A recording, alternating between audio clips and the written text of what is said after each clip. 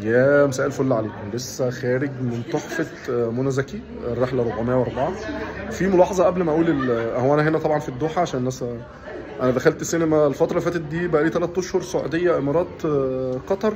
فدخلت سينما كتير في الخليج آه، أكتر المرات الأفلام بتبقى مش آه، كاملة أو يمكن تقريبا إحنا من كل واحدنا في السينما. لكن النهارده آه، عايز أقول لكم حاجة حلوة اللي اول يوم للفيلم النهارده في في, في قطر السينما تقريبا 80% ما كانش أكتر 80% من الكراسي كانت مليانه وده حاجة مهمه جدا وده يدل على شيء ده اللي ده يدل على شيء ان منى زكي اسمها بياع لأن هي فعلا آخر آخر حد في الجيل ده بيعرف يعمل فيلم حلو وتبيع بيه وتمثل وعارفه نتكلم على الفيلم بقى طيب الف- ال- الفيلم الرحلة 404 فيلم تحفة. انت قاعد قدام ساعة و40 دقيقة تقريبا. الساعة 40 دقيقة مش هتقدر تقوم مش هت... مش هت... مفيش ملل. قصة واخداك التيمبو بتاعها سريع جدا.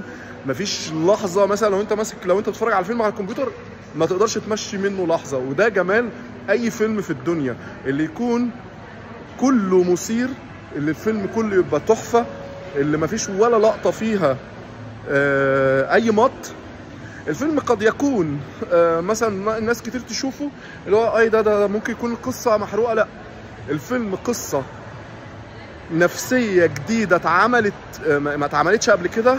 في من روح أرض الأحلام شوية بتاع فتح روح يا جماعة بس عشان تفهم روح يعني إيه فيلم من روح؟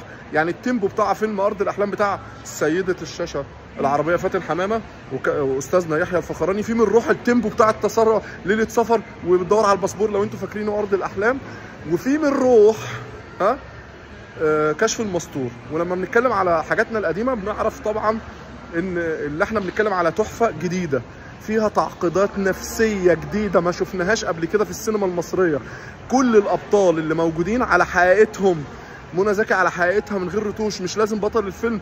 اللي هو لو حتى هو مظلوم بيكون أو هو راجل الراجل بيمثل الشر أو راجل عنده أخطاء في حياته لازم إيه نبر... نبين له المبررات. لا في ناس إحنا بنعمل كلنا أخطاء جوانا الغلط والصح وبنعمل الغلط من غير مبررات أو أوقات كتير. بنعمل غلط لأننا حابين الغلط. فهو جايب الفيلم بالشكل ده جايب أبطال. أنا مش هحرق طبعا ما أقدرش أحرق عشان الناس لسه ما شافتوش. بس فيلم تحفة فراج ظهور مرعب. عارف الراجل لما أشوفه على الشاشة مرعب مرعب فراج في ال- الراجل اللي مثلا تيار إسلامي بيعمله كأنه مولود فيه. الراجل اللي بيضرب آه، كأنه بيضرب عارف تفاصيل يعني عارفين تفاصيل إيده وهي بتتحرك فراج بيعملها. مش ممكن مرعب فراج منى زكي شابوه. المخرج شابوه. عندنا غلطة واحدة في ال raccord كانت باينة قوي مدير التصوير عنده واحدة برده كده لما الست وقعت يعني مش هقول. وعندنا غلطة في raccord منى زكي في مشهد كانت مع فراج وكان مشهد مرعب طبعا master scene في الفيلم. والاثنين وشهم كان طبعا يعني كان في عرق كتير مش عارف إيه. فجأة في المشهد الت- التالي اللي هو مكمل للفيلم كانت منى full make up كامل وده ما كانش ينفع يعني كانت باينة قوي آه، فكانت لازم ياخدوا بالها منها. لكن في المجمل الفيلم ده بالنسبة لي تسعة من عشرة ليه تسعة من عشرة؟ أنت ممكن من غير إمكانيات wow اللي أنت تجيب فلوس. أنت عندك قصة إنسانية تقدر تعمل منها أفلام. يعني الفيلم ده أنا نفسي أفهم بس. الفيلم ده مكلف يا جماعة. اللي إحنا نرجع هيبة الفيلم ده مكلف في إيه؟ اللي إحنا نقدر نرجع هيبة السينما المصرية اللي كانت كل الناس علشان كده بقول روح فيلم كذا وروح فيلم كذا.